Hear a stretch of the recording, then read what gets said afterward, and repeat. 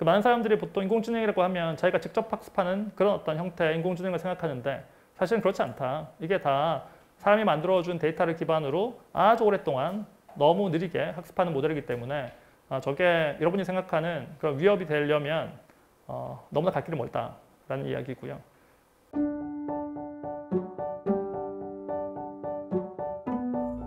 인공지능 어디까지 왔는가라는 주제로 전달하고 싶은 그 핵심들만 좀 말씀드리려고 어, 가능하면 그림만 잔뜩 제가 넣었거든요. 그래서 어, 무거운 주제긴 하지만 그래도 재밌게 들어주셨으면 좋겠습니다. 제가 오늘 말씀드릴 내용들에 대한 컨텐츠는 대략 다음과 같은데요. 먼저 어, 갈라키, 뭐 최근의 인공지능 분야의 발전에 대해서 말씀을 드리고 특히 최근 10년간 이런 인공지능 분야의 발전이 어, 급격하게 이루어져 왔는지 그 이유에 대해서 제가 갈라키 설명을 드리겠습니다.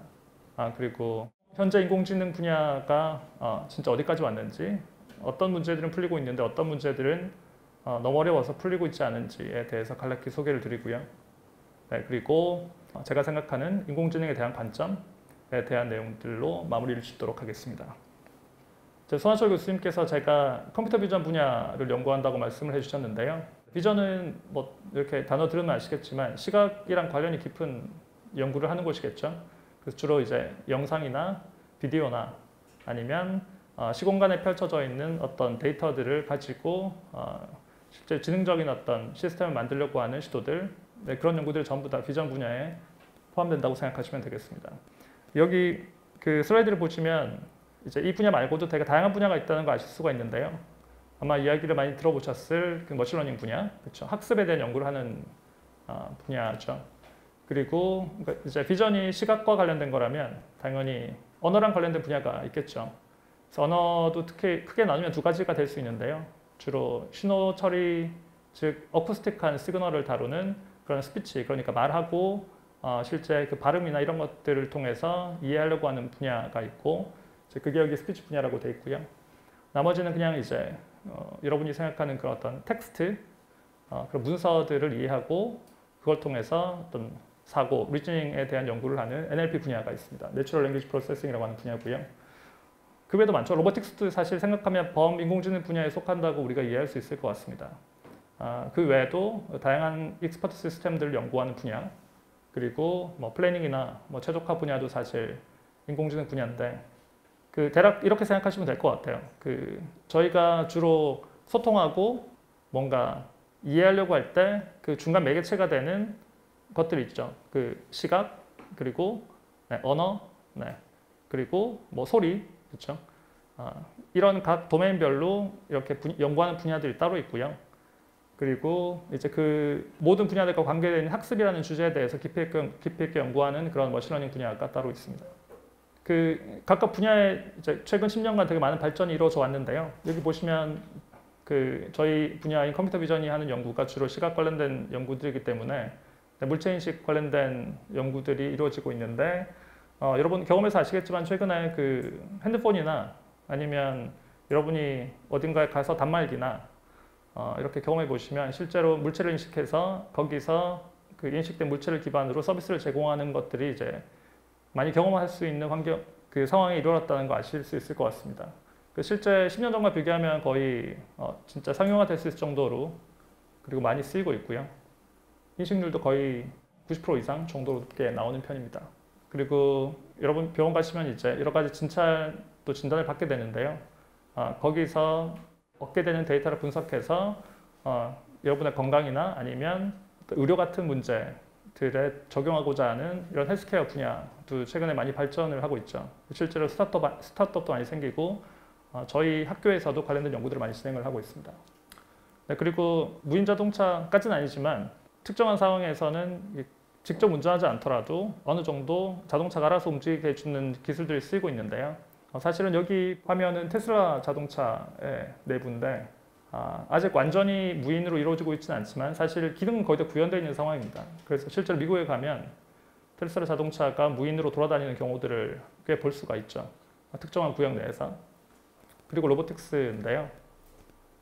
네, 이거 뭐 예전에 유튜브 많이 보셨던 분들은 그 빅독이라고 보셨을 것 같은데요. 그 계곡 내면서 이렇게 산에서 막 돌아다니는 그런 로봇 개 같은 형태의 기계인데 최근에 많이 발전을 했죠. 실제로 스팟이라고 해서 되게 조그맣게 개량이 돼가지고 어, 꽤 많은 산업체에서도 가지고 연구를 하고 있고요. 한국에도 몇 대가 들어가 있는 걸로 알고 있습니다.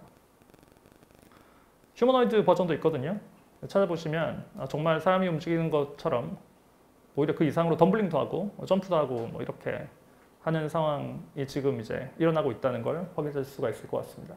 네, 그리고 게임 분야인데 네, 가장 급격한 발전을 이루었던 그 AI 분야라고 할 수 있을 것 같아요. 알파고는 다 아실 것 같고 너무나 많이 들어보셔서 이제 지루하실 만큼 들어보셨을 것 같은데요. 나 이게 이렇게 급격하게 발전할 수 있었던 이유는 아, 실제로 그 컴퓨팅 환경 자체에서 시뮬레이션을 아주 빠르게 돌릴 수 있기 때문에 학습 데이터를 얻기가 쉽기 때문이죠.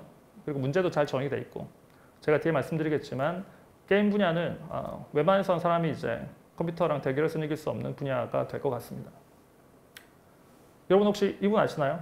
모르실 것 같아요. 저도 잘 모르는 분인데 모를, 모를 수밖에 없습니다. 왜냐하면 존재하지 않는 분이거든요. 네, 이게 그 image generation이라는 그 우리가 보통 아, 적대적 생성 모델 한글로 번역하자면 이제 그런 AI 모델로 만들어낸 이미지인데요. 잘 보시면 실제 사람이랑 거의 구분을 하기가 쉽지 않죠. 다음 페이지에 보시면 한 명은 실제 사람이고요. 한 명은 네, 존재하지 않는 생성해낸 사람입니다. 어느 게 그러면 진짜 사람일까요, 여러분? 정답을 말씀드리면 오른쪽. 네, 오른쪽이 진짜 사람이고요. 왼쪽이 네, 가짜, fake가 되겠습니다.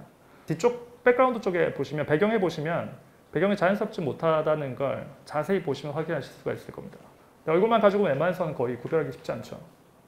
아 그리고 이 그림 보신 분 계실지 모르겠는데요. 네, 크리스트 경매에서 팔린 인공지능이 그린 그림이 되겠습니다. 이게 금액이 이제 하나로 5억 정도에 팔렸다고 하네요. 이제 그만큼 이제 그 인공지능이 만들어낸 어떤 예술이 상업적으로 이렇게 널리 쓰일 정도가 됐다는 걸 보여주는 되게 중요한 사건일 것 같습니다. 재밌는 건 여기 아래쪽에 잘 보시면 저 구석에 원래 저기 사람의 그 어떤 사인 같은 게 있어야 되잖아요. 잘 보시면 저기 이퀘이션이 있거든요. 저게 뭐냐면 그 미니맥스 objective라고 해서 그 실제 이 적대적 생성 모델을 학습할 때 사용하는 그 주요 수식이 되겠습니다. 이렇게 다양한 분야에 최근 인공지능이 급격한 발전을 이루어왔다는 거를 그냥 갈래티만 보여드리는 거고요. 네, 본격적으로 이제 이야기로 넘어가서 그럼 최근에 이런 발전이 이루어지게 된 이유가 뭔지 어, 이유라기보다는 어떻게 그게 가능했는지에 대해서 그 개념만 간략히만 설명을 드리겠습니다. 사실은 인공지능이라는 용어가 그 최근에 와서 널리 쓰이는 거죠. 저희는 이제 그렇게 불러, 불러오지는 않았었거든요. 어, 보통 그냥 뭐 컴퓨터 비전이면 뭐 컴퓨터 비전 모델, 머신러닝이면 머신러닝 모델, 뭐 아니면 NLP면 NLP 모델이라고 불러왔는데 어쨌든 어, 이게 다 기계죠, 사실 여러분. 기계라는 말이랑 컴퓨터라는 말, 그리고 프로그램이라는 말, 어, 알고리즘이라는 말, 이게 여러분들 다, 다 다르게 느끼실 텐데 그 사실은 다 같은 얘기예요. 왜냐하면 알고리즘이라는 게 사실 그 코드고 그게 사실 우리가 보통 이제 프로그램 컴퓨터 프로그램이라고 부르는 건데요. 이게 이제 가장 추상화된 형태의 기계거든요. 어, 실제로 이 알고리즘 분야를 개척했던 어, 그리고 computing 분야를 개척했던 아버지들 세대들 예를 들면 여러분 뭐 다들 들어보셨을 튜링이라는 수학자가 있는데요. Turing machine이라고 불렀죠 그때 튜링이 만들어낸 기계. 근데 기계가 사실 기계가 아니라 그게 그냥 수학적인 어떤 어, 추상화된 형태의 어, 지금으로 보면 프로그램이거든요 그냥. 그래서 사실은 기계랑 네 프로그램은 같은 거죠. 그래서 제가 여기에 기계처럼 그렸지만 사실상 저게 그냥 컴퓨터 프로그램이라고 생각하시면 되겠습니다. 저희가 인공지능 모델을 만들 때 하는 일은 그 프로그램을 일단 저희가 만드는 거죠. 그렇죠? 코딩을 하는 겁니다. 실제로 코딩하는 과정은 우리가 설계라고 이야기를 할 수 있잖아요. 그러니까 머신을 디자인하는 거죠. 진짜 물리적인 기계를 설계하는 것처럼 어, 보통 프로그래머들이나 엔지니어들이 이렇게 프로그램을 AI 기계를 설계를 하게 됩니다. 어, 설계할 때 이제 어떻게 동작하냐면 당연히 입력을 받으면 출력을 만들어내게끔 설계가 돼야겠죠. 그래서 그림에 보시는 것처럼 뭐 대략 이런 식으로 층 형태로 구조를 우리가 그려볼 수 있는데요. 입력이 위에서 들어오면 입력을 받아가지고 중간에서 특정한 어떤 그 component 어떤 부분이 그걸 계산을 하고 그 계산한 결과를 아웃풋으로 내주는 그래서 뭐 이렇게 보면 뭐 세 개 정도의 layer가 있다고 우리가 이야기를 쉽게 할 수 있을 것 같습니다. 이제 저 hidden layer 자체가 프로그램이라고 생각하시면 되겠죠. 예, 그게 물리적으로 보면 저렇게 생겼을 수 있을 것 같은데요. 근데 hidden layer 자체가 저희가 프로그래밍 하는 거기 때문에 거기에 다양한 어떤 변수들이 존재할 수가 있거든요. 그러니까 저희가 원하면 그걸 바꾸거나 조절할 수 있는 값들이 존재한다는 거죠. 실제로. 그래서 여기 왼쪽에 보시면 저게 이제 저희가 만들어낸 기계고요. 프로그램이고요. AI 모델이고 어, 아웃풋이 이제 저 뒤쪽에 나와 있죠. 자동차냐 아니면 개냐 이걸 출력하는 그런 모델이 되겠습니다. 입력으로 받는 건 저 앞쪽에서 받는 거고요. 앞에 입력이 이렇게 이미지로 들어오는 거 보실 수가 있는데 옆에 이게 다양하게 뭔가 롭이라고 이렇게 뭔가 다이얼 같은 게 달려 있죠. 저게 바로 그 파라미터들이 되겠습니다. 실제로 저걸 조절하면 네, 출력단이 바뀌게 되는 형태가 된다고 생각하시면 되고 뭐 대략 우리가 만든 모든 프로그램들이 저런 식으로 우리가 생각을 한번 해볼 수 있을 것 같아요. 네. 먼저 이제 저희가 하는 거는 이렇게 기계를 만들고 우리가 원하는 출력을 얻게끔 조절을 하는 역할이겠죠. 실제로 저, 저 이렇게 그 다이얼 같은 거를 사람이 돌리면서 값을 바꿔가면서 우리가 원하는 아웃풋을 내게끔 아, 이렇게 튜닝을 해오는 게 전통적인 방식이었다고 생각하시면 되겠습니다. 그래서 이게 좀 발전되면 나중에 학습 모듈이 들어오게 되죠. 즉 이걸 사람이 이렇게 hand tuning 하는 게 아니라 기계가 하게끔 만드는 겁니다. 근데 기계가 하려면 이게 뭐가 좋은, 좋고 나쁜지 판단을 해야 되잖아요.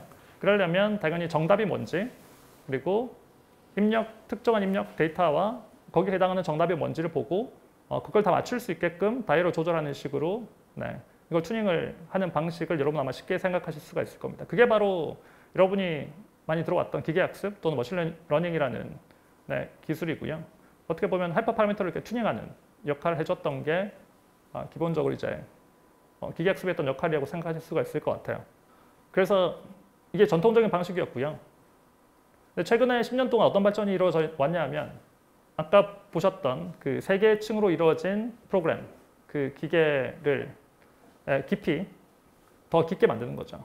layer를 쌓아가지고 어, 중간에 hidden layer들이 이렇게 쫙 늘어나서 층층을 이루어가지고 앞에서 처리한 걸 뒤에서 받아가지고 다시 처리하고 뒤로 넘겨주고 하는 식으로 처리를 한 겁니다. 이렇게 깊게 어, 기계를 만들면 어, 실제로 훨씬 더 복잡한 연산을 훨씬 더 효과적으로 처리한다는 걸 어, 우리가 알게 됐습니다. 물론 사실 이건 예전부터 알고 있었죠. 하지만 구현하는 게 쉽지 않았는데 2000년대 초반에 이걸 가능하게 하는 다양한 테크닉들이 개발되면서 어, 이전에 저희가 꿈꿔왔던 그런 비선형 함수 이렇게 층을 쌓으면 이제 비선형 함수가 되는데 이걸 학습할 수 있는 시대가 열리게 된 겁니다. 왜 그러면 층을 쌓으면 좋아지느냐? 아마 지난 시간에도 이야기를 하셨을 것 같은데요. 보통 우리가 compositionality라고 이야기를 하는데 이 세 개가 보면 어, 뭐랄까 부분과 전체 조합이 계층적으로 이루어져 있는 구조로 돼 있잖아요. 이게 무슨 얘기냐면 여러분 회사를 만들면 회사에서 뭔가 제품을 조립할 때 어, 부품을 직접 만들진 않죠. 뭐 다른 데서 사다 쓰잖아요. 근데 그 회사에 가보면 또 그 회사 그 부품 만들 때 어, 거기에 사용되는 재료들을 다 직접 만들지 않습니다. 그 또그 그 세부적인 어떤 부분들을 실제로 만들어낸 회사는 또 따로 있거든요. 사회가 다 이렇게 그물망으로 이렇게 계층적으로 얽혀 있는데 사실 이걸 우리가 보통 compositionality라고 부르는 건데요. 이렇게 조합해서 어, 새로운 어떤 부분이 이루어지고 그 부분이 다른 어, 전체 또 부분이 될 수 있게 구조화되어 있는 어떤 그런 체계를 이루도록 어, 실제 이 프로그램을 만든다고 생각하시면 되겠습니다. 이게 바로 그런 모델 중에 하나인데요. 뭐 대략적인 구조라서 뭐 그냥 넘어가셔도 괜찮을 것 같습니다. 계층이 이렇게 쭉 나와 있죠. 입력이 있으면 층층이 연산을 해서 뒤로 넘겨주는 구조가 되겠고 이게 합성곡 신경망이라고 가장 최근에 널릴 수 있는 모델 중에 하나가 되겠습니다. 아, 두 번째는 이제 데이터죠. 사실 데이터는 이전에도 있었는데요. 2000년대 초반에 이루어졌던 일이 뭐냐면 이 데이터를 어, 실제로 이런 인공지능 모델을 만들기 적합하게끔 정제 과정을 거친 다음에 어, 웹사이트에 올려가지고 여러 사람들이 연구하고 쓸 수 있게끔 프로젝트를 만들어가지고 진행하는 일들이 많이 일어났습니다. 아, 실제로 이렇게 데이터가 많은 게 왜 필요하냐면 앞서서 보여드렸던 그 깊은 모델이 학습이 제대로 되려면 어, 이 데이터가 많아야 되거든요. 왜 그러냐면 여러분 그 뭐 방정식 풀어보셔서 알겠지만 방정식이 제대로 풀리려면은 변수의 개수만큼 실제로 데이터가 있어야 되죠. 이게 만약에 너무 데이터가 적으면 답이 너무 많이 나온다거나 이런 일이 발생하기 때문에 실제로 모델이 복잡해지면 그만큼 더 많은 양의 데이터가 있어야 아, 제대로 학습을 할 수가 있겠다라는 걸 직관적으로 아마 이해하실 수 있을 것 같습니다. 그래서 뒤에 보시면 이 ImageNet dataset이라는 게 바로 이런 빅데이터를 잘 정제해 가지고 실제 연구자들이 쓸 수 있게끔 하려고 했던 그 아주 혁신적인 시도 가운데 하나가 되겠습니다. 이미지 개수가 여기 표현되어 있는데요. 잘 보시면 뭐 네, 100만 장 이상의 이미지에다가 거기다 다 label을 하는 거죠. 이 물체가 뭐고 이런 것들을 어, 그런 식으로 학습에 쓸 수 있게끔 데이터들을 충분히 모아서 연구자들이 공유할 수 있게끔 만들어진 대표적인 프로젝트였고요. 이걸 통해서 소위 이야기하는 그 deep learning, 심화학습이라고 해야 되나? 네, 이런 모델들이 급격하게 발전을 했다라고 간략히 설명을 드릴 수 있을 것 같습니다. 뒤에 보시면 네, 이두 가지가 결합된 거죠. 딥 머신, 깊은 깊이 있는 그 기계, 깊층이 깊은 기계들과 그리고 아주 많은 양의 데이터 이 두 가지를 같이 결합하면서 어, 최근 10년간 급격한 발전을 이루어왔다라고 이해하시는 게 제일 간략한 설명이 되겠네요. 왜, 이거 외에도 많이 있긴 하거든요. 여러분 잘 아시는 GPU라고 예전에 게임할 때 게이머들 다들 게임 해보셨잖아요. 실제 이 많은 양의 데이터를 처리하는 데 도입을 했기 때문에 또 발전이 이루어져 왔던 것들도 물론 있습니다. 그리고 다른 팩터들도 많이 있긴 한데 가장 큰 건 두 가지라고 정리할 수 있을 것 같네요. 과거에는 이제 기계가 되게 어, 샬로우라고 하는데 이렇게 층이 되게 옅었고요. 그리고 이 학습을 할 때도 어, 실제 데이터를 되게 적게 쓰는 그런 형태의 구조였다면 그 최근에는 이제 네, 이 기계가 되게 깊어지고 그렇죠. 층이 되게 많아지고 학습이 훨씬 더 강화되어 있는 즉 훨씬 더 많은 양의 데이터를 쓰고 학습도 훨씬 더 어, 뭐랄까요 오랫동안 많은 양의 자원을 써서 수행하게 되는 형태로 어, 연구가 이루어지고 있고 여러분이 보고 있는 인공지능 모델들이 다 그런 식으로 만들어지고 있는 모델들이라고 생각하시면 별로 틀리지 않을 것 같습니다. 재밌는 건 뭐냐면 그 이제 과거와 현재의 발전을 보면 본성과 양육이라는 어떤 그 개념 과 되게 맞닿아 있다는 거죠. 본성과 양육 논쟁에 대해서는 아마 여러분들이 많이 들어보신 분도 계실 것 같은데요. 근데 이거 되게 심리학에서 되게 중요한 논쟁, 역사적 논쟁이었고 어, 지금도 계속되고 있는 논쟁이죠. 그러니까 우리가 좋은 유전자를 타고 어, 태어나는 게 그게 중요한 건지 아니면 이제 태어나서 양육 교육받고 그렇죠? 부모한테 보살핌을 잘 받고 주변 사람들한테 가르침을 잘 받고 어, 아니면 자기가 또 열심히 노력하고 뭐 이러는 게 중요한 건지 네. 여기에 이제 대입을 시켜보면 어, 이제 이, 이런 인공지능 분야의 연구는 어떻게 보면 이제 본성을 되게 강조했던 그 부분이 컸던 어떤 상황에서 최근에는 양육 그러니까 이 학습이라는 걸 훨씬 더 강조하고 그걸 통해서 가능하면 사람의 개입을 줄이면서 이제 데이터로부터 정보를 추출해서 기계가, 학습, 기계가 학습하게 만드는 구조로 이렇게 발전해 왔다고 볼 수가 있을 것 같아요. 그래서 많은 사람들이 어, 이제 특히 인공지능 연구자들은 어떤 생각을 하는 분들이 많냐면 가능하면 사람의 개입을 줄이고 데이터로부터 학습하게끔 만드는 게 인공지능을 발전시킬 수 있는 바람직한 방식이다. 앞으로 우리가 거기로 가야 된다. 라고 생각하는 사람들이 많이 있는 상황이고요. 그래서 이제 거기에 대한 논쟁도 많죠. 그 인공지능 분야의 어, 주요 연구자 중에 한 분인 이제 이안 리쿤이라는 그 뉴욕대 교수죠. 네. 분과 그다음에 게리 마커스라고 같은 대학에 있는 이분 아마 뉴로 그러니까 신경 아, 신경과학 하시는 분이실 거예요. 인공지능 연구도 하시고 두분 간의 논쟁이 있었는데요. 전 세계 뭐 유튜브로도 이렇게 다 중계가 되고 했던 논쟁인데 그러니까 이런 논쟁을 한다는 것 자체가 이런 게 그만큼 연구자들 사이의 이슈라는 이야기겠죠. 어떤 연구자들은 아, 그 실제 그 머신이 가지고 있는 기계가 가지고 있는 어떤 그 구조 그리고 알고리즘이 중요하다라고 생각하는 사람들이 있고 아, 그게 아니라 그 실제 학습을 제대로 하게끔 만들어주는 게 중요하고 아, 실제 구조는 별로 중요하지 않다. 사람은 가능하면 거기에 개입하지 말아야 된다라는 또 방향이 있고, 네, 뭐 이런 논쟁이 지속되고 있다라고 생각하시면 되겠습니다. 그러면 뭐가 중요하냐? 둘 다 중요하죠, 사실. 네. 이게 뭐 끝이 없, 없는 논쟁일 것 같은데요.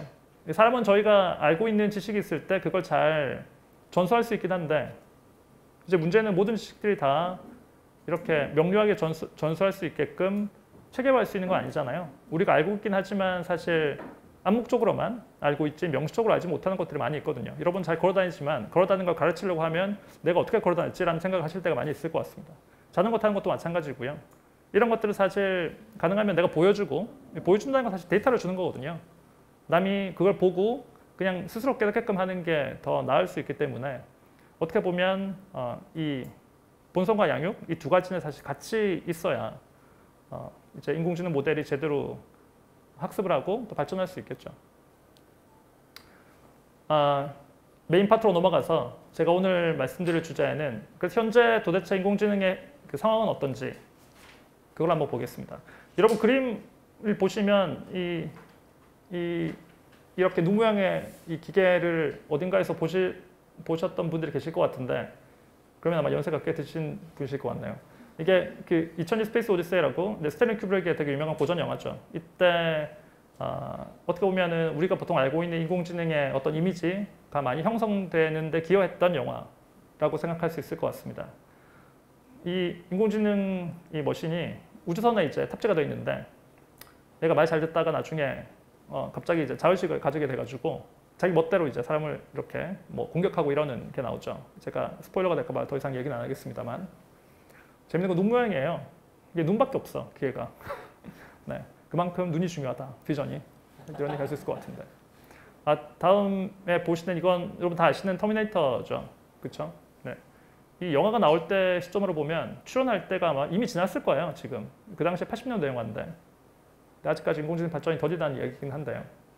그리고 최근에 나온 영화는 허라는 영화가 있는데 보신 분이 있으실지 모르겠네요. 여기에 나오는 그 핸드폰 안에 탑재된 일종의 앱 같은 AI인데 어, 이분이랑 연애하는 뭐 이런 이야기죠. 근데 문제는 저희가 지금 이제 AI라고 부르는 이 기계들이 이 정도가 되냐는 거죠.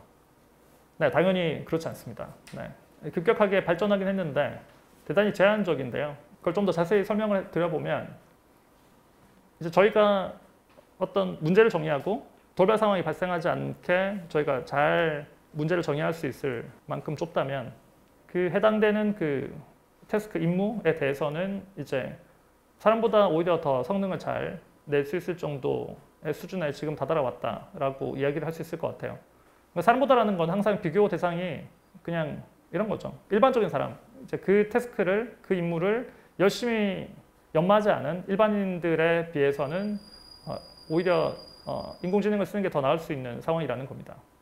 약간 아이러니인데 잘 생각해 보시면 인간보다 낫다는 거는 사실 누군가 측정을 해야 되잖아요. 답이 있어야 되고. 근데 그 답은 사람이, 만, 사람이 만드는 거니까 잘 생각해 보면 약간 좀 이상하긴 하죠. 중요한 건 문제가 잘 정의가 돼야 된다는 거죠. 문제를 잘 정의하려면 문제가 좁아야 되잖아요. 너무 넓으면 저희가 정의할 수가 없습니다. 문제를 깔끔하게 정의할 수 없는 정도가 되면 어, 학습을 할 수가 없고 따라서 당연히 성능이 떨어지겠죠. 그래서 여러분이 그 지금 경험하시는 많은 인공지능 어, 기계들을 한번 돌이켜 생각해 보시면 어, 답답하다라는 느낌을 많이 느끼실 거예요. 뭐 몇 가지는 되게 잘하는데 이걸 좀 벗어나면 이게 반응을 잘 못하는. 그리고 새로운 태스크에 적응을 할 수 있는 방법이 있긴 한데 어떻게 해야 되냐면 사람이 개입을 하는 거죠. 어, 연구자가 개입해가지고 개발자가 개입해서 어, 새로운 태스크에 따로 학습을 시킨다거나 추가적인 작업을 해서 어, 네, 튜닝을 하는 작업들을 거치지 않으면 네, 적용이 잘 안 돼요. 그리고 그걸 하고 나면 이전에 원래 학습됐던 그 태스크에 대한 정보를 또 잃어버립니다. 까먹어버려요. 이걸 포게팅이라고 하는데 네, 이게 되게 사실 음, 좀 되게 큰 AI 분야 연구의 이슈기도 하고요. 그 우리가 이걸 좀더 좀 더 자세히 얘기를 하려면 일반화라는 개념에 대해서 이야기를 해야 될 것 같은데 일반화라는 게 뭐냐면 저희가 보통 그 인공지능이라고 하면 뭘 이야기하냐면 자기가 보지 못했던 데이터에 대해서 스스로 적응해 가지고 문제를 푸는 게 인공지능이죠. 그렇죠? 이제 그걸 좀더 어, 구체적으로 정의를 하면 그걸 우리가 일반화라고 부르게 됩니다. generalization. 실제로 우리가 트레이닝할 때 특정 데이터를 쓰잖아요. 여기 보시면 기계가 있고 그 기계를 학습할 때 썼던 데이터들인데 어, 이 기계가 이 인공지능이 잘 동작하는지를 확인하려면 어떻게 해야 되냐? 이 학습할 때 쓰지 않았던 데이터들에 적용해 봤을 때 맞춰야 돼. 성능을 성능이 좋아야겠죠. 다 맞춰야 됩니다. 그래서 unseen 데이터라고 보통 부르는데 근데 여기 보시면 이런 unseen 데이터들에 잘 동작해요. 잘 보시면은 이미지가 대략 약간 유사한 면이 많습니다. 이걸 같은 도메인에 그러니까 도메인이 같은 경우라고 하는데 근데 문제는 이제 그 도메인이 좀 달라지면 즉 학습할 때 봤던 데이터들이랑 되게 뭔가 그 좀 많이 다른 그런 이미지가 들어오면 이게 다 망가진다는 얘기죠. 네, 그래서 이걸 우리가 뭔가 unknown 데이터라고 얘기를 할 수 있을 것 같은데요.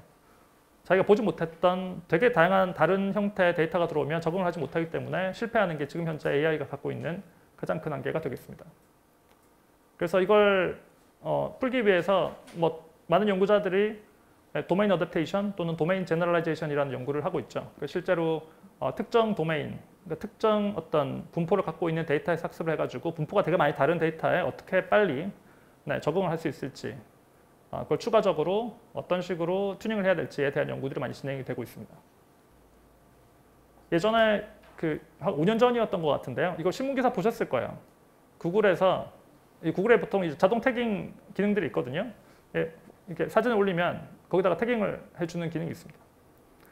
이제 그 흑인 여성분이 자기 사진을 올렸는데 고릴라라고 태깅을 했다는 거죠 구글이. 그래서 구글이 인종차별한다. 또는 구글 인공지능이 문제가 있다 이렇게 또 보도가 돼서 되게 이슈가 됐던 건데 사실 이거 곰곰이 생각해 보시면 뭐 네, 그 인공지능 기계가 인종차별주의자일 리는 없잖아요. 네, 그것 때문 아니고 이게 바로 이, 이 일반화의 문제죠. 학습할 때 썼던 distribution과 되게 다른 어떤 데이터들이 나왔기 때문에 적응을 잘 못하는 게 되겠습니다. 보통 이제 흑인 여성들 분들은 사진을 덜 올리거든요. 어, 다른 백인 여성들이나 아시안계 여성들에 비해서. 그렇다 보니까 데이터 학습 데이터가 부족하니까 이제 오동작을 하는 형태라고 이해하시면 될 것 같고요. 왜 이렇게 힘드냐? 이게 정의를 못해서 그렇죠. 이 중요한 건 지능인데 지능이라는 이야기를 여러분 다 쓰고 계시고 들어보시고 아신다고 생각하겠지만 그 지능이 뭐냐고 직접 물어보면 할 말이 별로 없어요. 이게 내가 아는 거지 이걸 명시적으로 말로 표현을 하기 쉽지 않거든요. 뭐가 지능인지. 그러니까 일단 이게 measurement 그러니까 측정이 되게 중요하거든요. 이 과학이라는 건 되게 측정 때문에 발전할 수 있는 건데 측정 기술을 생기고 그걸 정량화해야 그걸 기반으로 측정을 더 정확하게 하려고 노력하고 어 뭐 성능을 높이려고 노력하는 예, 하는 게 이제 우리가 실제로 평가가 가능하기 때문에 발전을 할 수 있는 건데 일단은 뭐 정의 자체가 불가능하면 평가도 못 하는 거고 당연히 문제를 제대로 풀기가 쉽지 않겠죠. 아, 그래서 AI 분야도 사실은 이런 벤치마크라고 부르는 특정 측정 dataset을 기반으로 정확하게 정의하고 그걸 평가해서 서로 연구자 간에 경쟁하고 발전해 왔거든요. 근데 이제 이런 어떤 일반적인 지능에 대한 문제는 이걸 못하는 거죠. 어, 그나마 할 수 있는 게 사람이잖아요. 근데 이게 너무 주관성이 어, 많이 관여되어 있는 데다가 코스트도 되게 높아요. 너무 돈이 많이 드는 거죠. 이거 출력 결과 낼 때마다 사람한테 가서 평가달라고 하면 그 사람이 상주했지 않은 이상 쉽지 않잖아요. 그 이미테이션 게임이라는 걸 아실 것 같은데요. 그래서 뭐 터미널 대화에서 사람이랑 기계 주중에 누군지 맞추는 사람이 결국 평가하는 식으로 인공지능이라는 걸 정의를 해야 된다라는 식으로 제안을 했었는데 일단은 cost가 너무 높고 네, 주관성이 너무 개입되기 때문에 지금 사실상 거의 실패한 프로젝트라고 아, 우리가 이해를 하는 게 맞을 것 같습니다. 그러니까 지금 그 튜링 테스트를 통과하는 machine들이 있거든요. 근데 대체로 인공지능이라기보다는 사람을 속이는 트릭들을 잘 하는 구사하는 기계라고 아, 이해하시는 게 맞을 것 같아요. 실제로는 많은 사람들이 이제 더 이상 관심을 잘 가지지 않죠. 그래서 왜 힘드냐 하면 정의가 힘들다. 언노운 태스크 그러니까 우리가 보지 못한 데이터들에 대해서 우리가 어떻게 평가하고 정의할 건지에 대한 게 쉽지 않기 때문에 사실상 이 맨 아래쪽에 보이는 이게 그 프랑스와 숄레라고 최근에 구글 연구자가 제안했던 형태 개념인데 저희가 최근에 대학 모두 접하고 있는 인공지능 연구들은 다 맨 아래층에 속한 일종의 그 좁은 일반화에 해당되는 모델이라는 거죠.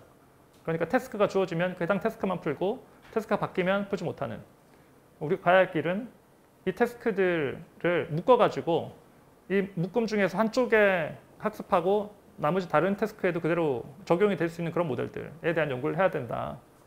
그래서 여기 넓은 의미의 일반화를 추구를 해야 된다라는 제안을 하고 있고요. 그건 저도 동의하는 편입니다. 이게 쭉 올라가서 하나의 모델이 모든 태스크를 다 다룰 수 있다면 그게 우리가 생각하는 어떤 진정한 인공지능 모델이 되겠죠. 진정한 인공지능. 어, 앞서서 보셨던 그런 뭐 터미네이터나 네, 할이나 아니면 사만다 같은 물론 이게 바람직한 모델인지 모르겠지만 네, 그 거기로 가기 위해 위한 길이 아직 어, 아직 너무 멀다. 네, 그게 현실이라고 말하는 게 아마 맞을 것 같습니다. 그래서 이제 결국 이런 형태가 돼야 되는 건데요. 진짜 AI는 태스크가 일단 들어오면 아, 그 태스크를 봐가지고 이 태스크를 풀기 위해서는 어떤 식으로 배워야 된다라는 이 스킬 프로그램이라고 지금 여기 나와 있는데 일종의 그 어, 학습하는 모델을 만들어내는 역할을 해주는 그런 기계여야만 된다는 거죠. 그냥 주어진 task에 대해서 skill을 학습 skill을 배운 습득하는 기계가 아니라 그 기계를 만들어내는 기계가 사실 진정한 AI이기 때문에 여기 갈래키 언급된 것처럼 일종의 skill program generator를 추구하는 게 인공지능 연구가 돼야 된다라는 거고 이런 얘기를 사실 이제 사람들이 꺼내는 이유는 이제 그게 아직까지 안 되고 있기 때문이라고 이해하시면 될 것 같습니다. 제가 마무리를 하고 싶은 거는 그 그러면 이제 이런 인공지능 모델들에 대해서 우리가 어떻게 봐야 되나 이걸 좀 더 이야기를 해보고 싶은데요. 닉 보스트롬, 니콜라스 보스트롬이라는 그 옥스퍼드 대학 교수가 있는데요. 이분이 되게 유명한데 왜 유명하냐면 옆에 보이는 이 책을 썼기 때문입니다. super intelligence라고. 네. 아 이제 계속 인공지능이 발전하니까 언젠가 인공지능이 사람보다 더 똑똑해지면 그러면 도대체 어떤 일이 일어날 것인가에 대한 대단히 암울한 전망을 하는 책이라고 이해하시면 될 것 같고 2016년에 유샤벤주어라는 어, 그 연구자가 이렇게 얘기를 했죠. 그 많은 사람들이 보통 인공지능이라고 하면 자기가 직접 학습하는 그런 어떤 형태의 인공지능을 생각하는데 사실은 그렇지 않다. 이게 다 사람이 만들어준 데이터를 기반으로 아주 오랫동안 너무 느리게 학습하는 모델이기 때문에 어, 저게 여러분이 생각하는 그런 위협이 되려면 어, 너무나 갈 길이 멀다라는 이야기고요. 어, 뭐 간단히 얘기하면 위협이 될 것 같으면 그냥 전원 내리면 된다는 거죠. 네, 그래서 이거는 뭐 현실과 맞지 않는 얘기다. 라는 이야기고 그 사실은 실제 앞서서 맨 처음에 슬라이드에 보셨던 그 물체 인식 모델을 학습하기 위해서 어떤 일이 일어나고 있냐면 이렇게 이미지들마다 저렇게 바운드막스라고 하는데 답을 이렇게 다 사람이 쳐주는 거죠. 그래서 그걸 입력으로 넣고 학습을 하게 됩니다. 이게 수백만 장이 필요한 거고 어, 그래야만 그래도 어느 정도 수준의 결과를 얻을 수 있는 상태고요. 그리고 무인 자동차에 쓰이는 이런 어떤 모델들은 어, 훨씬 더 많은 양의 노동이 필요해요. 그러니까 여기 보시면 자동차가 다닐 수 있는 길과 다닐 수 없는 길을 구분을 해야 되잖아요. 그러면 사람이 다 이렇게 색칠을 해줘야 됩니다. 툴 같은 게 있는데요. 이게 그냥 공장처럼 막 수많은 사람들이 거기 모여가지고 이거 다 하고 있습니다. 네. 그 이거 하는 회사가 있어요. 전문 회사가. 여러분 들어보셨는지 모르겠는데 아마존이라는 그 사이트는 아시죠? 아마존이 여러 가지 서비스를 하고 있는데 그 중에 하나가 이 아마존 미케니컬 턱이라는 그 파트인데 이게 뭐 하는 거냐면 심부름 센터가 되겠습니다. 그래서 사람들이 뭔가 데이터를 만들어야 된다거나 아니면 뭔가 설문조사를 해야 된다거나 그러면 온라인상에서 worker들을 모집하는 거죠. 어, 그래서 돈 주고 거기다가 어, 해야 될 일을 제시하면 온라인에서 사람들이 모여가지고 이렇게 일을 대신해주는 그 앞서서 보여드렸던 그 많은 dataset들이 사실 여기서 만들어진 거거든요. 근데 이제 이 1997년에 실제로 체스 machine 그 인간과 대결하는 사건이 있었는데요. 그때 뭐 이 게리 어, 카스파로프라는 되게 유명한 체스 챔피언이 어, 딥블루라는 이제 머신, IBM 머신한테 졌죠. 근데 이제 최근엔 또 알파고가 있었고, 근데 과거로 돌아가 보면 이미 이제 18세기에 그런 일이 있었습니다. 여러분이 잘 모르실 수 있지만 이제 그게 그 기계가 바로 Mechanical Turk이라는 기계인데요. 뒤에 보시면 왼쪽에 보이는 게 이걸 재현한 그림인데요. 어, 체스 machine입니다. 밑에 기계 장치가 보이시죠? 그래서 어, 이게 움직이면서 이렇게 기계가 움직이면서 체스를 둬가지고 사람과 대결하는 건데 어, 이게 18세기에 그 헝가리 쪽 귀족인 캠펠런이라는 귀족이 이걸 고안해가지고 실제로 순회 공연을 다녔어요. 그래서 실제로 그 많은 그, 그 어, 체스 내노라는 체스 두는 사람들 다 이기고 아, 그리고 여러 왕실을 돌면서 왕가 사람 나폴레옹도 체스를 뒀다고 합니다. 졌어요. 그렇게 놀라운 사건이 있었던 거죠. 여기 보시면 이제 그거 광고하는 전단지고요. 이게 아마 제가 알기로는 이제 원래 그 헝가리랑 오스트리아 쪽에서 돌다가 이제 나중에 미국으로 건너가가지고 미국에서 계속 순회 공연이 진행되는데 아, 그때 팜플렛일 겁니다. 메첼이라는 사람이 사가지고 이게 사실은 알고 보니까 사기였거든요. 보시면은 이 안에 사람이 들어가 있습니다. 이 체스 마스터가 들어가가지고 거울 보면서 이렇게 기계를 움직이는 식으로 동작했던 거고 이제 이 미케니컬 턱 아마존 서비스를 만들 때 이걸 생각한 거죠. 그래서 실제 사람이 이제 들어가가지고 동작을 하는데 마치 자동으로 서비스가 이렇게 나오니까 이제 그걸 기반으로 여러 가지 서비스를 제공해 주겠다라는 아이디어라고 생각하시면 될 텐데요. 전 개인적으로 이게 되게 중요한 은유가 될 수 있다고 생각합니다. 무슨 얘기냐면 이 안에 체스 마스터가 들어가 있었는데 이렇게 생각할 수 있을 것 같아요. 체스 마스터가 이제 빠져나오고 대신에 체스 마스터가 어떻게 하면 체스를 이길 수 있는지에 대한 상세한 글을 써가지고 그 책을 만들어서 이제 그 안에 놓고 나오는 거죠.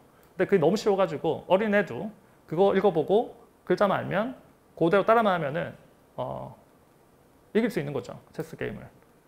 그렇게 동작한다고 한번 생각해 보겠습니다. 아 그러면 어떻게 될까요? 뭐 사실상 비슷하게 움직이겠죠.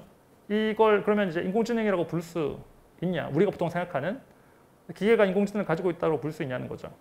근데 이거 좀 더 발전시켜 보면 아, 그 안에 어린애 대신에 어차피 어린애가 하는 일이 별로 없기 때문에 그냥 글만 해석해가지고 네, 체스판만 움직이는 기계가 있다고 한번 생각해 보겠습니다. 어, 그러면 이게 어, 정말 우리가 보통 우리가 생각하는 인공지능이라고 할 수 있냐? 그렇진 않잖아요. 앞에 그 체스 마스터가 했던 거랑 별 차이점이 없죠. 그게 자동화 됐다는 것뿐이지. 중요한 건 제가 말씀드리려고 하는 건 뭐냐면 이 어떻게 체스를 하는지에 대한 이 지식 이 사실 핵심이죠. 그게 사람으로부터 왔기 때문에 아, 그게 책으로 남아서 기계 쓰고 있긴 하지만 아, 여전히 사실은 이건 기계가 체스를 두는 게 아니라 사람이 두는 거잖아요. 그 제가 말하고 싶은 거는 우리가 이제 인공지능 머신, 인공지능 기계라는 거 볼 때 이걸 책으로 볼 필요가 있다는 거죠. 이 책이 되게 특이해요. 어떻게 특이하냐면 이 책은 어, 책 내용을 잘 안 보여줍니다. 안 보여줘서 뭔가 입력을 주면 해당되는 내용만 보여, 주는 책인 거죠. 자동으로. 하지만 책에 저자들이 있습니다. 그 책이 만들어지는데 기여한 사람들이 있고 근데 되게 많아요. 그 사람들이. 일단은 그 기계 인공지능 알고리즘을 만들었던 네, 엔지니어들과 또 개발자들, 과학자들이 있겠죠. 그리고 제가 이제 눈이 말씀드렸지만 그 데이터, 그 많은 양의 데이터들을 어, 실제 만들어냈던 그 수많은 사람들이 다 있습니다. 그 사람들은 이제 자기가 저절하고 인식하지, 인식하지 못할지 모르지만 이미 그걸 쓰고 있는 거죠. 그 인공지능 기계는. 그리고 사실 또 과거로 돌아가 보면 그런 연구나 아니면 데이터가 만들어지는데 기여했던 그 많은 사람들이 다 어떻게 보면 그 저자에 해당하는 거죠. 아, 그래서 이런 관점으로 본다면 저희가 보통 주로 오해하는 이런 어, 인간과 기계의 대결 이라는 이 어떤 프레임이라는 게 사실 허상에 불과하다라는 게 제 생각이고요. 그래서 기계나 인공지능 머신이 있을 때 아, 이걸 책으로 보면 그 너머에 많은 사람들이 있다는 걸 떠올리게 되잖아요. 여러분이 좋아하는 책을 봤을 때 그 책을 읽고 지식만 습득하는 게 아니라 그 저자를 만나보고 싶고 그 사람에 대한 어떤 이미지를 떠올리, 떠올리다시피 사실 기계도 그렇게 할 수 있는 그런 어, 물체 또는 어떤 그런 책으로 받아들이는 게 어, 인공지능을 잘 이해하는 방법 중에 하나지 않나 하는 생각이 들고요. 실제로 인공지능은 계속 발전할 거라고 생각합니다. 개인적으로. 그 이유는 책을 쓰는 저자들이 갈수록 발전하고 있잖아요. 문학 작품이 점점 더 이렇게 좋은 작품이 나오다시피 그만큼 사람들이 창의적이기 때문에 어, 당연히 인공지능 기계들도 훨씬 더 발전하겠죠. 시간이 지나면 지날수록. 그게 앞서서 말씀드렸던 것처럼 어, 진짜 모든 문제를 다 하나의 모델로 푸는 어, 강력한 일반화 기능을 가지게 될지는 모르겠지만 어, 발전의 전망은 아주 밝다. 개인적으로 그렇게 생각하고 그래서 여러분들이 관심 있는 분이 있으면 많이 연구에 뛰어드시면 좋을 것 같습니다. 이 방송을 보시는 여러분들도 아마 많은 기여를 하실 수 있지 않을까. 네, 그렇게 생각합니다. 제가 앞서 했던 내용들을 혹시나 어, 잊어버리실까봐 키워드 갈라키 정리를 했거든요. 제가 오늘 말씀드리고 싶은 내용은 네, 이거고요. 네, 이걸로 제 발표를 마치도록 하겠습니다. 감사합니다.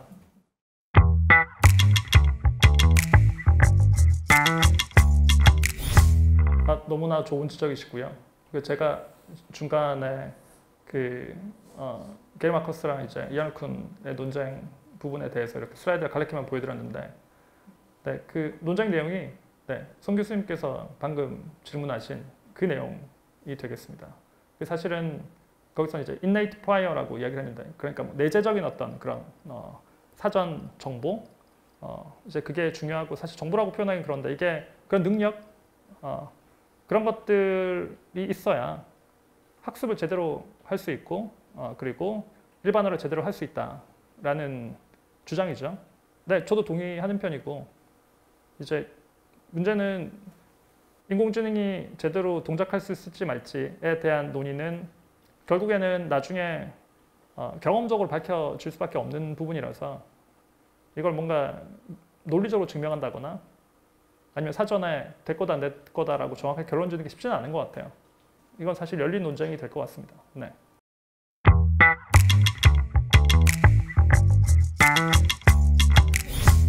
아, 네, 저는 거짓말이라고 생각하고요. 개인적으로.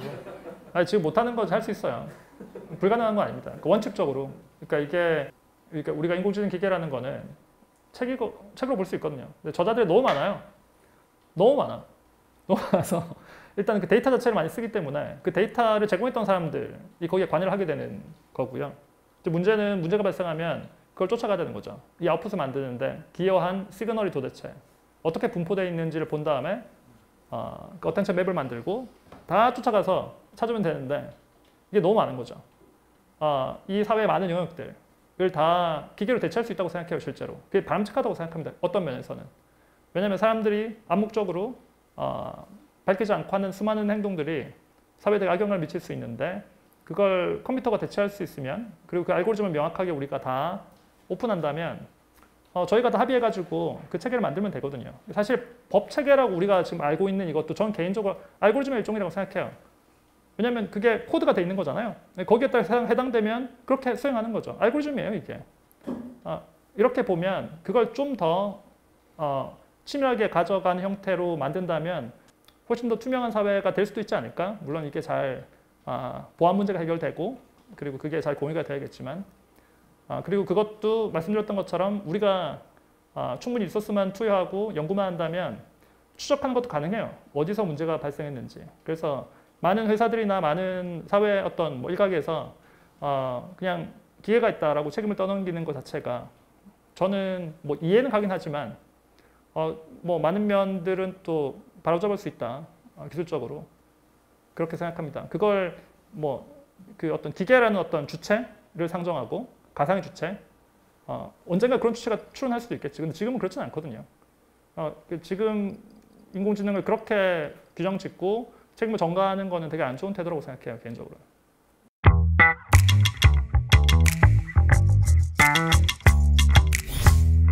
저는 그냥 너무 우려할 필요는 없다고 생각이 들어요. 말씀드렸다시피 지금 우리가 알고 있는 인공지능의 한계는 명확하기 때문에 저는 인공지능이라는 분야 자체가 이름이 별로 마음에 들지는 않습니다. 개인적으로. 왜냐하면 보통 학문이라는 거는 화학 아니면 뭐 물리학 아니면 컴퓨터공학 이렇게 연구하는 영역을 기준으로 하는 게 좋잖아요. 근데 인공지능이라는 거는 사실 존재하지 않는 거거든요. 사실 제 기준으로는.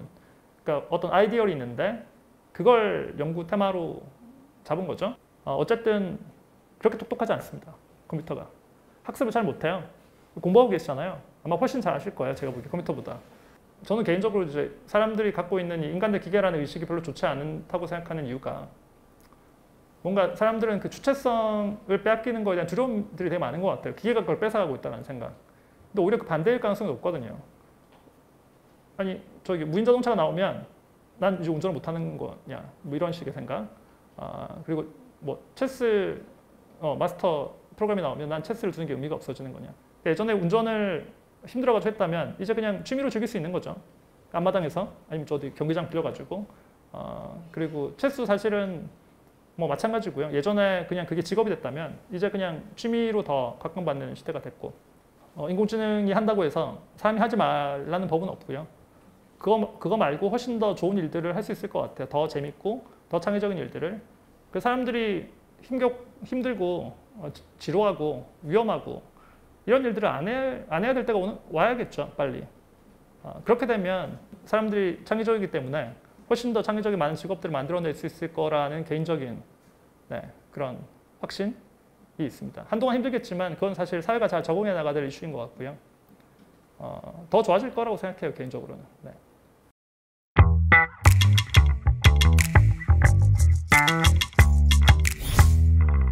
저는 일단은 먼저 그 제가 맨 마지막 슬라이드에 말씀드렸다시피 저는 인공지능 분야의 전망은 되게 밝다고 생각하고요. 앞으로 계속 계속 계속 발전할 거라고 생각합니다. 문제는 그 동력인 건데요. 좀 회의적인 면에 가깝다고 제 입장을 정리하는 게 맞을 것 같아요.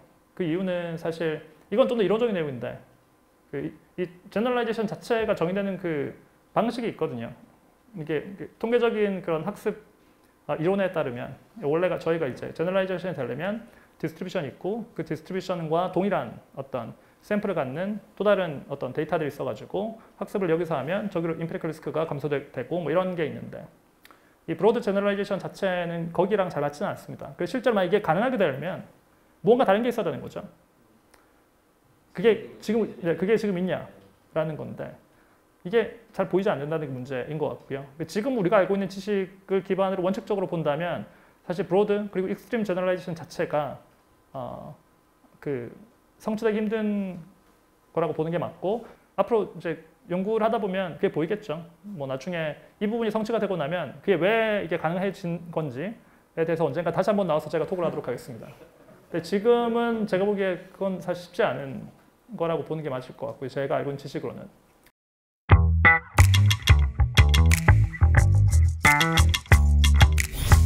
어, 개인적으로 그 말씀해 주신 내용들에 되게 공감을 하고요. 아 이게 이 착취 문제가 어, 이 세계 각지, 세계 각 그 계층에서 이루어지고 있는데, 아 그래서 저는 개인적으로 이제 정치에 관심이 되게 중요하다고 생각해요. 그 앞서서 보여드렸던 많은 연구자들이 정치적인 그 의사를 되게 강하게 표출하는 분들이 되게 많아요. 아까 이안 루쿤, 유샤 벤지오 이런 분도 마찬가지고. 어, 저도 그런 거 되게 좋다고 생각합니다. 근데 이제 이거 어떻게 구현하는가 이슈인데 아, 이거가 되게 애매한 거죠. 왜냐하면 그 착취 자체가 연구하는 입장에서는 잘 눈에 보이지 않거든요. 그리고 그거 자체가 실제 현장에서 이루어지는 게 아니기 때문에 우리가 거기에 대한 관심을 가지고 우리가 데이터를 수집하거나 아니면은 우리가 실제로 학습을 할때 어, 사회에 어떤 일이 일어나고 있는지를 좀 더 주의 깊게 봐야 되는데 어, 그걸 보고 있지 못하다는 건 사실 많은 연구자들이 갖고 있는 문제점이긴 하죠. 요즘에 이야기 신문 보셔서 알겠지만 탄소 배출이 엄청나요. 네. 이거 뭐 GPT 요즘에 뭐이 translator machine들 같은 거 보면 하여튼 지구 온도가 아마 한 최소한 0.몇 도 올라갔을 거예요, 제 생각에. 말씀하셨던 그런 dataset에 대한 어떤 그런 수집을 할 때 일어나는 여러 가지 착취 문제도 있을 거고 그런 부분은 좀 더 어, 이건 사실 연구하는 좀 다른 주제로서 따로 한번 논의를 해야 되는 이슈지 않나라고 생각합니다.